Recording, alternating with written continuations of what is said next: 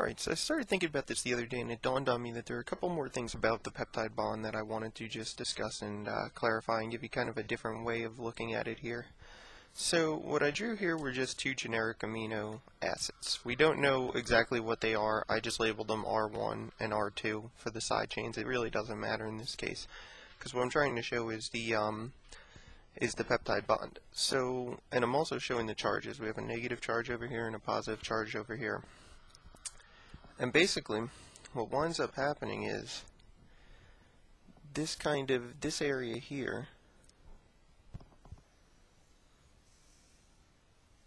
is what's going to be involved in forming the peptide bond. So what we can draw here to kind of demonstrate this is here we're going to lose water because that's what happens when you form this bond. You lose water. You lose two hydrogens over here and one oxygen over here.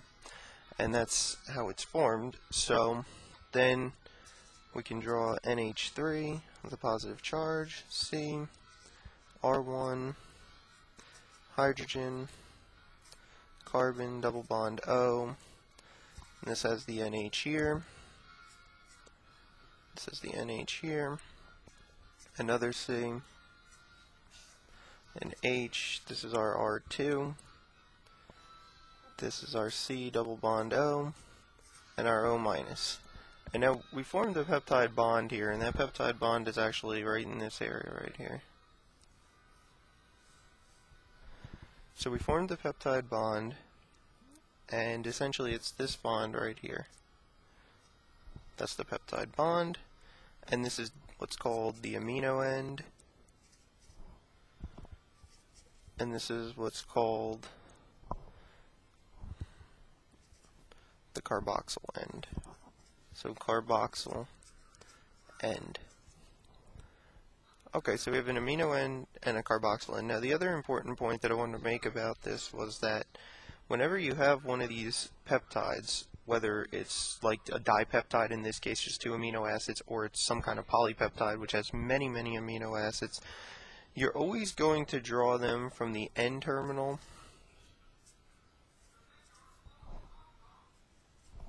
so N terminal over to the C terminal. So there'll always be N terminal to C terminal. That's the direction of the peptide chain. So that's the direction of the peptide chain. So that's the direction of the peptide chain. So I just wanted to make that point that um, there's a specific direction to these peptides. They're always N-terminus to C-terminus, and I also just wanted to show a different representation of maybe how to think about forming this um, peptide bond or amide bond, depending on what you want to call it. So when the carboxyl group of one amino acid reacts with the amino group of another to give an amide linkage and eliminate water, a peptide bond is formed. So that's exactly what we did here. And in proteins, upward to 100 amino acids are so are so joined to form polypeptide chains. So essentially a polypeptide chain is many amino acids linked together by these amide bonds. And the next thing I want to say, which is I already started looking at protein structure, so I just wanted to discuss this because it's important. Um, what you'll see here, if I were to just come over here and just draw the end here, I'm going to just draw this. And I think you'll see what I'm doing in a second as this comes together here. So I have this N, and I have this C up here, and I have this random grooves here. So all I'm showing here is an amide bond. That's exactly what I'm showing here. I'm showing a peptide bond. And what I want you guys to notice is that there's a lone pair here. Right? Remember from organic chemistry, there's a lone pair on the oxygen because it's attached to three different groups and has a lone pair. So what can happen here actually is there's a resonance form, and this is this is important because this has a lot to do with why we get the specific protein structures that we get, why we see alpha helixes, why we see beta sheets. So I'm going to draw the resonance form. So basically what can happen is this can happen like this, and these can get kicked up like that. And I should show also that there's two lone pairs on the oxygen as well. So I'll draw my lone pairs in on the oxygen as well. And I'm going to go down this way, draw my resonance arrow. Remember your resonance arrow is a double-headed arrow, not a single-headed arrow. And I'm going to show what happens here. So this becomes O.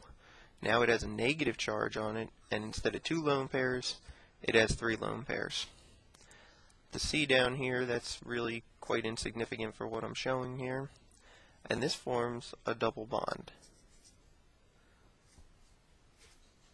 So we actually have a resonance form where there's a double bond here and a positive charge on the nitrogen and a negative charge on the oxygen. So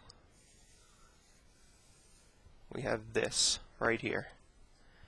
Now you might be saying, well, why is that significant? What, what the hell does this mean? You know, why does this make a difference? And the reason it makes a difference is because this partial double bond character here introduces rigidity. It's kind of, I mean, you learn this in organic chemistry. When you have a double bond, it's a little bit more rigid than a single bond, and there's not free rotation. So there's no free rotation around this double bond. And that's why it's important, and that's why we start to see that there's some regular structures that uh, occur with um, with polypeptides when they fold. When they when they start becoming when they start having secondary structures and tertiary structures, that we start seeing these regular structures, namely the alpha helix and the beta sheet. I mean, there are others, but when you talk about secondary structure protein, at least in an introductory biochemistry course, you're going to mostly be talking about the alpha helix and the beta sheet.